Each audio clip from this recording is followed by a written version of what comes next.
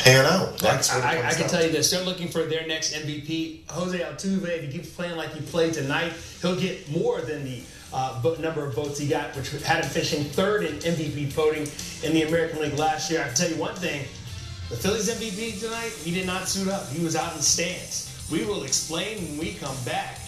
Rick, you got two fists, two drinks. You ready to go? Go. Expect to be impressed with the perfect blend of Foreman